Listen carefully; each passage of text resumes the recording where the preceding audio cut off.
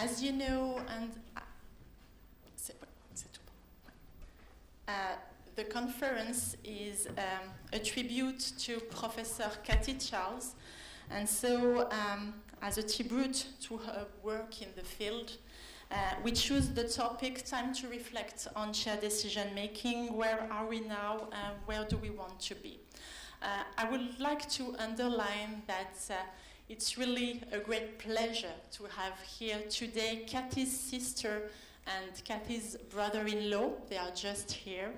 They did the trip especially for us to be here. So thank you so much. It's a great honor and it's a great pleasure to be here.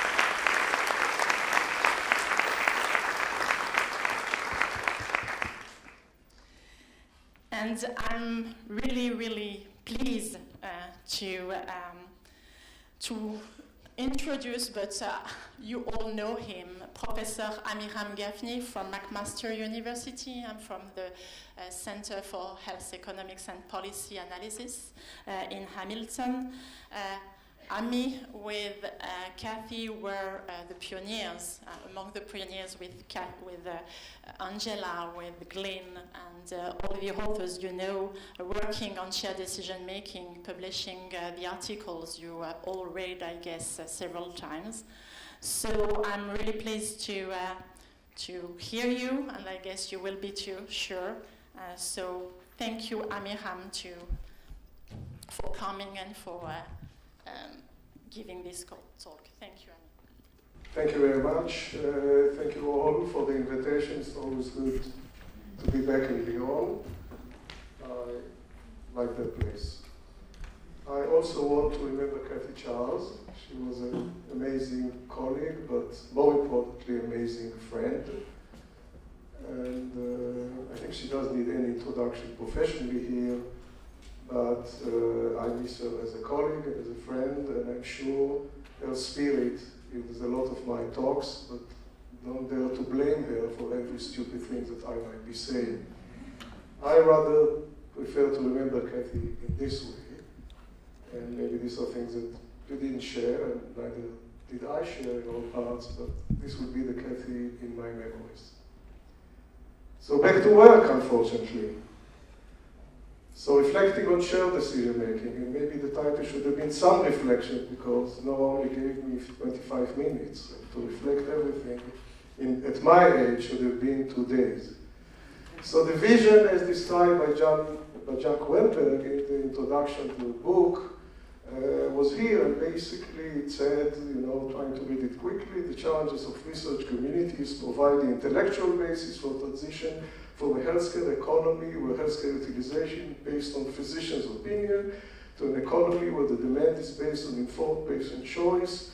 The challenge to policymakers is to promote the transition from, dele from delegated decision making to informed patient choice and encourage a practicing physician that the patients to adopt shared decision making as a principal strategy for avoiding the risk of operating on the wrong patient and ensure that the utilization of preference-sensitive care is based on the, on the decisions of informed patients. The implications seem clear, more effort is needed, to develop models of implementing shared decision making into everyday practice and measure the quality of patient decision making. Policymakers need to undertake experiment in reimbursement reform and support the necessary infrastructure and reward clinicians who successfully implement shared decision making. But the feeling was we're here, we just need to do it. And amazingly, you know, shared decision seemed to be very successful. Uh, I won't go every place, but to me the most amazing thing, it entered the Obamacare, which is, was a big issue during the last elections in the United States, a big issue now in the United States, that was part of the Obamacare. It was featured in the UK as an important part and probably elsewhere. And the thing is that when you read the literature, that's what I want to reflect. What does someone who is not part of the movement, someone who looks from the outside, from space, and only read the literature, what do they think? So I chose a title for the New England Journal of Medicine because that's the impression That's the promise that now shared decision making is sort of making, and that's why I don't mention names because it's not about people, it's about ideas.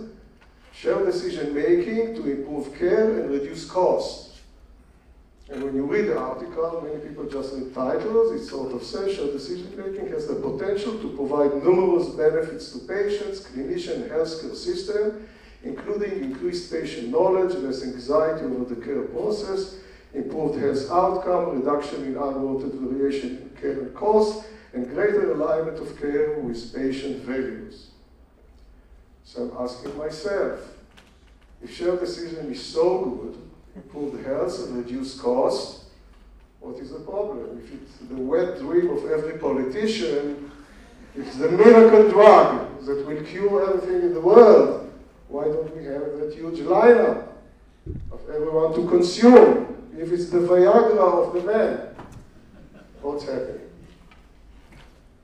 So I think that's what caused me to reflect and ask the thing. And it's not that I don't think it's a great field make sure at the very beginning it's a great field, it's an important topic. The topic will always be here.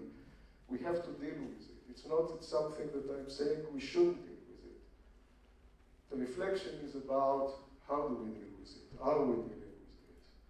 Are we on the right track? Are we making early statements? So it's not to discourage, it's to encourage. So shared decision making to improve care and reduce cost. And I think when you read the literature, you're stuck with the feeling that there are too many goals or maybe statements. It looks like goals, not well defined or justified, not clear whether they can be achieved. In other words, the rationale for and meaning of these goals at the conceptual level, the mechanisms through which they are intended to be achieved, and the value assumption underlying them have often not been made explicit. I think that even what is shared decision making is not still clearly well defined, and as a result, I'm not sure is shared decision making would mean it's the best type of medical encounter for every patient, every time. So we have to keep asking those questions. So for example, I want to illustrate what I mean by different goals by using something the goal of reduced healthcare cost. It is not clear why this particular goal was selected to be achieved by the use of shared decision making, or maybe it's clear because that's how politicians will buy it. If I took the mildest description of what it means, in the context of overuse, patients being more active in the decision-making process may be associated with reduction in costly interventions when less costly ones are available with similar outcomes. But if this is the result that we want to achieve, as an economist, I'm telling you, we have a better strategy. We simply just offer patient the cheapest amongst the, all the similar interventions. That's it. This will guarantee saving in cost. And anyone who has children knows you don't offer choice. Because you are not guaranteed that they'll choose the cheapest. Going to the more conceptual level, let's assume that research results show that in a given study, those involved in shared decision-making encounter, on average, have lower treatment costs than those involved in other types of encounter for a, for particular intervention. But remember, if we do not know, have not thought about mechanisms by which such a result might be obtained, then it is impossible to identify specific measures that will enable us to test whether what we observe in a specific study first supports or refutes our hypotheses and whether our findings are generalizable. And even if you want to be just empiricist and say ignores all of that, I just want to look at the result, remember that all the studies that show cost saving do not have, for example, representative samples. So they are not even generalizable to the population that they have studied. So we go back to old Churchill and it's time to reflect. So shared decision making is the answer for what?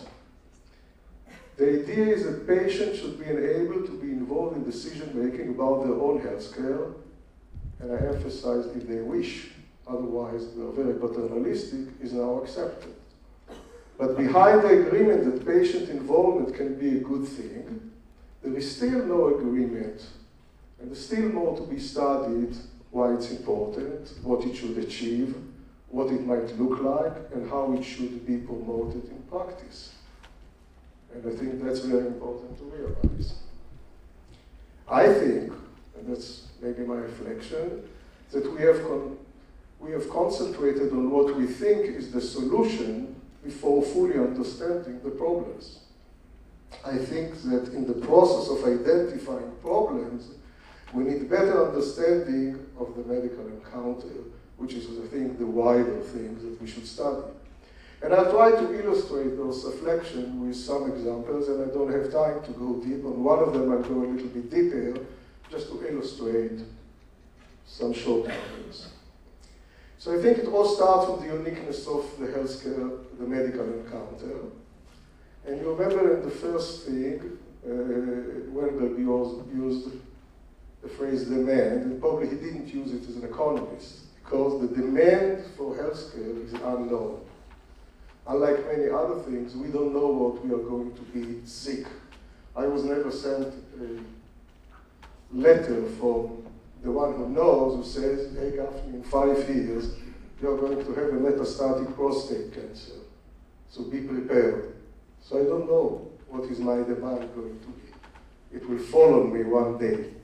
So therefore in economics, surprise, surprise, we abandon the use of the term demand and we talk about needs, which is a totally different concept. The other thing which I think everyone here in the room knows, which leads to a lot of the thing, is the asymmetry of information. Patients don't really know what they have. They need someone to tell them. And it seems that you need to learn a lot of years to create a diagnosis, to know what's available, so on and so forth. But doctors also don't know a lot of things about the patient. So that's the asymmetry side. But here are two things which are less discussed, there also exist and have major implication, and I don't see them in our work. And I would like to emphasize and to go a little bit deeper. The one is health is not a trans transferable good, that's what it means. And the other one, which you know, but I want to discuss in a different way, the outcome of any medical intervention at the individual level is uncertain. What is the implication of that? So this is the first one. Health is not a transferable good. So let's go outside of health, and it's the time of year when your boss is discussing with you your income in the coming year, and your boss say it was a very good year, and we are going to give you some money. Here are the two options that you're going to get. You can take $3,000 and go away, or you can play a lottery. And I have here a coin certified by the assistant to God, i.e. the biostatistician, 50% chance it falls on head, 50% chance it falls on tail, I throw it in the air. If it's head, you get 10,000. If it's tail, you get zero and maybe a kiss from me. I think most people will choose the $3,000, especially people who have spouses, because they have difficult to explain at home why they had two minutes fun with the boss, but got home with nothing. Now we assume we work in a huge company with 10,000 employees and they are all unionized. The union can say everyone have fun with the boss and plays the lottery. Why? Because of the law of large number, we can be sure that on average, because at the end of the day, when you play the lottery, it doesn't matter what you get, you put it in a big basket. And on average, we can guarantee that everyone will get $5,000, which is much better than $3,000. Now, assume the situation is the surgeon wants to review with you the medical situation before you decide to go into the room where you might not get out. And he said, if you go fast out now, you will live three years and die. If you go in, I'll try my best. But I know that 50% of my patients die, 50% get 10 years. The surgeon cannot tell you, hey, if I see that I'm losing you, I'll hold you tight operate on the other person with one hand, and if I see that I'm successful, I'll shave five years and give it to you. So what's the difference? The difference is that money is transferable, unfortunately, because they take it from one pocket and give it to another. We're not always happy, but it's movable. and the outcome in health is not transferable. So that means that individuals are not interested in mean values. It's meaningless to them. It's never applied to their own situation. But that's information that we keep telling them. On average, you'll get two months. On average, this will happen. It doesn't matter. The other one is when we have a new intervention. And of course, we have to do randomized control trial to test if the good new intervention is good or bad. Otherwise, how can we prove it? So the disease is such that there is current treatment which is called treatment B, there is a new treatment which is called treatment A. We are told to do randomized control trial. We have two arms, one with 100, the other with the Another 100, we run the trial. It's a very quick trial. We get the results. Wow! Treatment A is much more successful. 80 alive, 20 dead. Treatment B, 20 alive, 80 dead. So we know what the recommendation is going to be. Everyone should get treatment A. Well, why did we randomize people? To remind you the basics, we randomize people because I am told that there are known things that, that might affect the outcome of the intervention, and there is the unknown things, to make sure that the unknown things are on both arms. The process of randomization makes sure that they are equally distributed on each arm. So God is in a good mood, he's in Lyon, he will eat tonight in the right place, he'll drink the right wine, so he's willing to share with us what's the unknown. So he sent us a message and said, well, there are two types of people, type A and type B. It's written on the forehead. In mine it's big, but you cannot see it, yes? So that's why you call it unknown. But I am telling you, if a patient type A gets treatment A, they'll be alive. If they get treatment B, they'll die. You kill them. And vice versa. Which explains probably the distribution of type A and type B in each arm is 80%, 20, 80 people type A, 20 type B. So when you have a patient in front of you, say, don't know if they're type A or type B, correct? If they're type B and you give them a treatment A, you kill them. But the physician doesn't know. So the physician assumes the way people translate it, they say, well, they have 80% chance because that's probably maybe the distribution in the community. But first, this is untrue. Why? Because we have never recruited patients in the way which represent the population of patients in the community, correct? So maybe distribution of type A and type B in the community is 50-50. Or 80% are B and 20% are A. We don't know. But regardless of that, the frequencies of type A and type B in the population doesn't mean anything to the individual patient. And it's not clear that that's the base decision for them. Just to illustrate that important, the importance of even having representative samples, if you want to argue that, assume that this study used the representative sample in the population and it was done in Hamilton, of course. And Lyon people decided to replicate the study and do the same study exactly with a representative sample of people from Lyon. And this is the results that they did. So what we do typically, we add the numbers and we say no effect, yes? Well, there is an effect. And it's different. So, what does all these things mean? So if we go back to the Charles et al. models, I'll come back later, and so I don't want to discuss it now. In addition to trying to define the different types of encounters or decision making, we also try to look at the analytical stages, and we all felt that one important part of the encounter is the information exchange part. And as you all know, the smart guy already said, George Bernard Shaw, that the single biggest problem in communication is the illusion that it has taken place. And sometimes I think maybe it's good, because I think some of the problem is that another important part of communication, which is very important in what we do, is that we communicate the right thing. Because if we don't communicate the right thing, I believe, I hope that the communication doesn't happen. So what do I mean by that? So for example, understanding and communicating uncertainty of potential outcome, what's the problem here, for example? Clinicians believe that research provides us with probabilities that are applicable to individual level decision making. Another quote, which is the mindless, when considering decision options and the likelihood of their outcome, estimates of both the changes and the outcome frequencies associated with each opinion needs to be conveyed. This improves risk understanding and the accuracy of risk comprehension.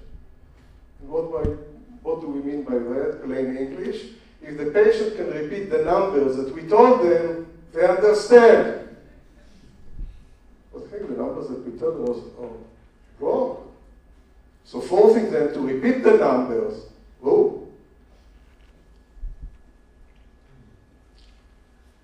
Another example, is there a trade-off of outcomes at the individual level? So let's think about the following example. Two treatments for disease A and B. On average, patients treated with option A have a 5% higher survival rate than patients given option B, but the side effects or risk associated with opinion option A are also greater. For example, the risk of hair loss is also higher with option A than with option B. The patient is encouraged to think about the importance of survival versus side effects to help choose the treatment, a trade-off between survival and side effects.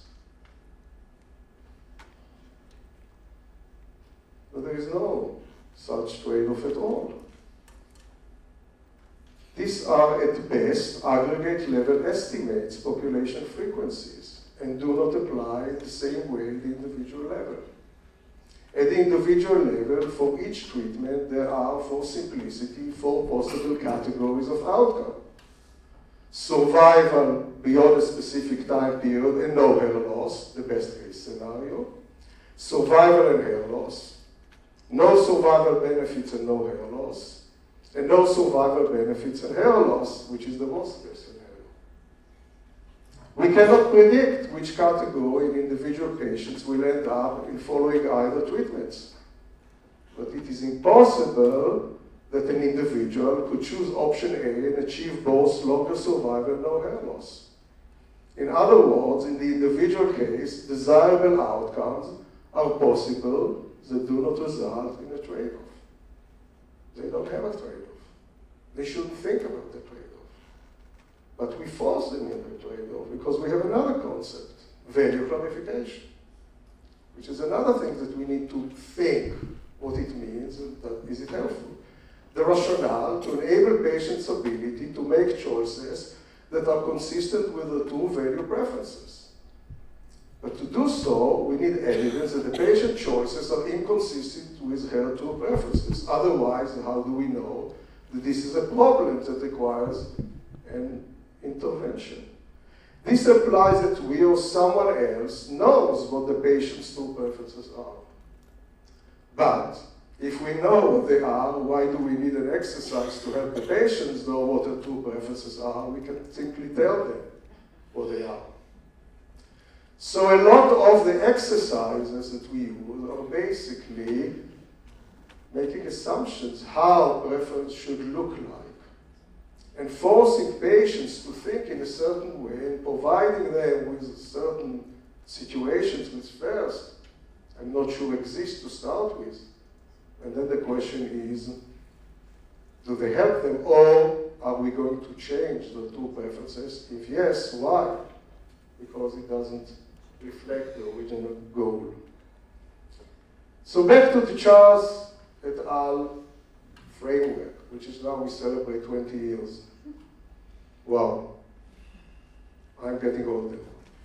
And I think the important part was the second paper because the very beginning we start to realize it's much, much more complex. And then the journal was nice enough and two years later published sort of a second version, which is almost like a reflection on the first one. And basically we said, it all started from the fact that the term shared decision making was used and wasn't well defined. It was an attempt to try to say, well, what do we suggest will be a shared decision making, but it could only have been done in the context of looking at the whole encounter, at the stages of the encounter, and to look at some extreme cases, paternalistic and informed. And at the very beginning, we realized that the main action would be somewhere in between. So there are thousands and millions and zillions of versions that don't even have a name. And they are probably what's happening or what will happen, and realizing from the very beginning the decision making is a dynamic situation, and no one knows at the beginning how it will end, and we cannot anticipate how it will end because at least the patient who comes to the encounter doesn't really know what he or she are facing to start with.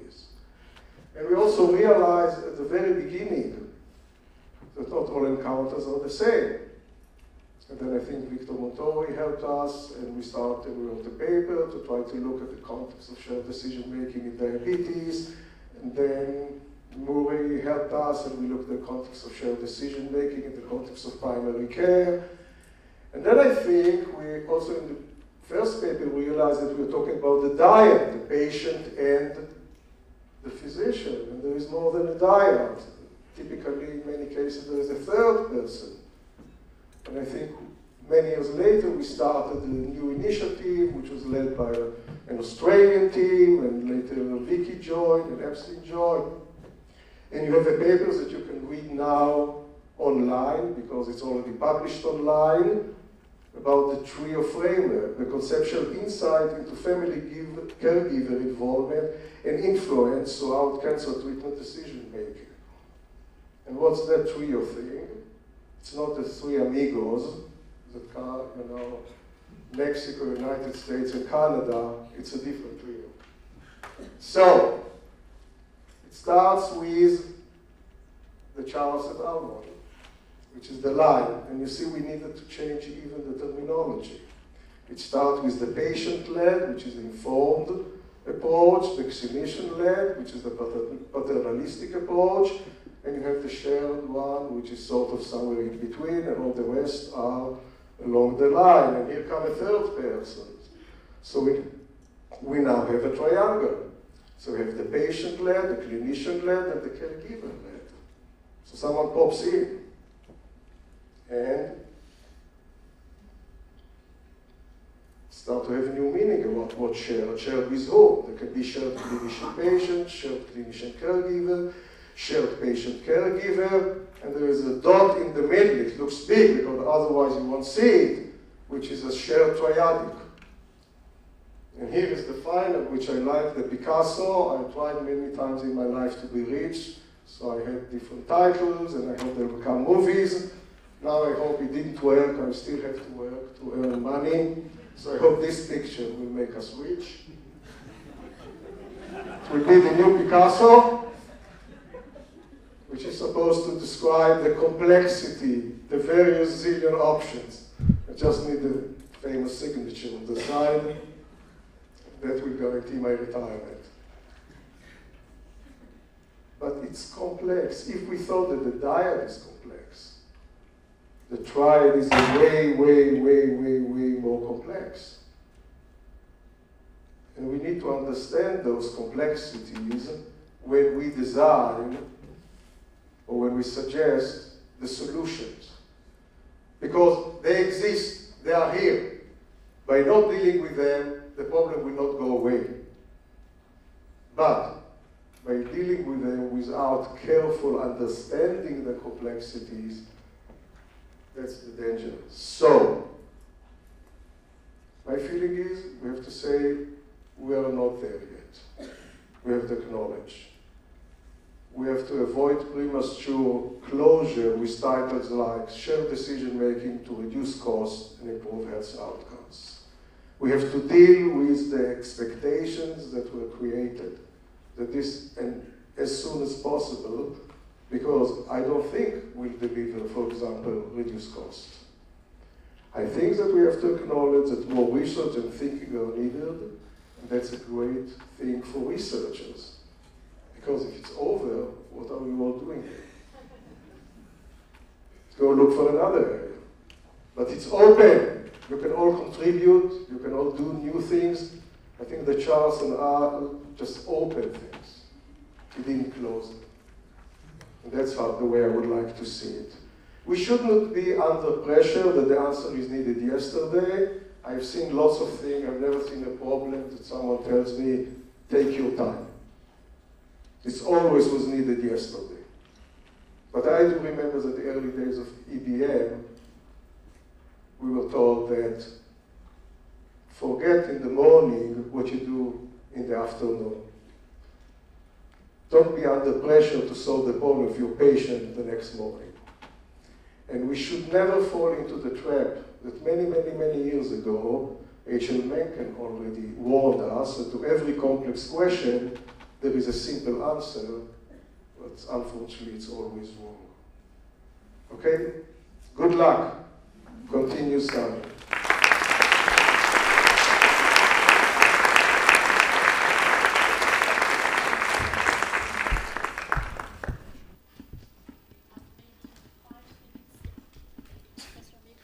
Thank you very much, Amiram.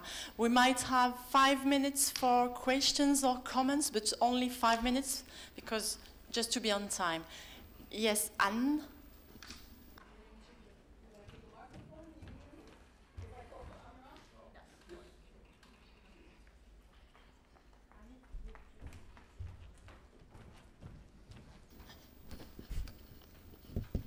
Anne Stiggelbout, Leiden, the Netherlands. Thank you very much, Amiram, for this tribute to Kathy. I think for many of us, our research started, or at least really speeded up through your papers. So it's wonderful that you can give this tribute and that the family is here. Thank you. Uh, I, I, struggle with this, this explanation of the trials and the type A and the type B, and, and doctors saying um, at the individual patient level, uh, you, the probabilities don't count using this as a reason either to ask for a lot of money to do personalized medicine studies to find out how we can define type A and type B, reducing the money for us for studies improving shared decision making, or doctors just saying, you know, at the individual level, probabilities don't count, so I don't need to do shared decision making because it's too hard for patients anyway. So, I mean, it's, it's really valid, but how can we use this to, to improve patient involvement and not have doctors use this to, to bash us to not involve patients. So it's a bit of a philosophical question, maybe. yep, I agree. And if I had the answer, I wouldn't just present the question, I would tell the answer.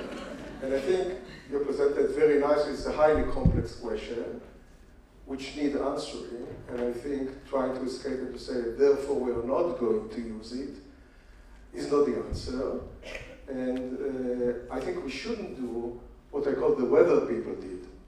And if you're old enough, and you're not, uh, you probably remember the time where the weather wasn't uh, with probabilities, they just said tomorrow it will rain. And you took the umbrella and it was sunny and you said these guys are nuts, yes? And they said tomorrow it will be sunny, and you didn't take the umbrella, and it's pouring rain, and you said these guys are crazy. And then they tried to say, well, we, we never knew exactly what will happen tomorrow, so now we'll say, tomorrow, picture of sun, 5% chance of rain. So you, you, didn't take the umbrella and it rained, and you said you didn't read 5% chance of rain. And you say, so what does it mean, the 5%? Okay? So they escaped by saying it's your problem. Now, that's the problem. How do you explain to people that we don't know things at the individual level and we need to do something? But there are other techniques that we might think about them that some of them already exist and maybe they apply to health and maybe they're not applied to health and that's the thing to start to look at. These are, sometimes I realize these are so old techniques. For example, some of them I learned when I was third year undergrad university. This not only happened in the previous millennia, but not at the end of the previous millennia. Not in the middle, but. so, for example, you know, these are the things that we need to deal with. Because otherwise, we are leading people astray with numbers that we think are meaningful to them, but they are not. And we know scientifically they may not belong there. So that's why my call is to people, start to deal with it. Don't give the precision that we tell you it's based on studies 86%. So thank you for your comment.